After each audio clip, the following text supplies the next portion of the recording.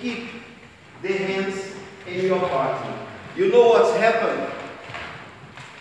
This contortion. It's so much fun that he's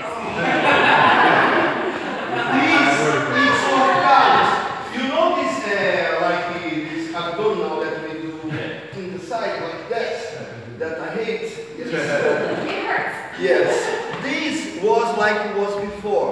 Was the lateral was like this, and then somebody say, "Oh, it's so difficult for the students, so let's do here," and then start my problem. No, and they did that, but it's normal. So now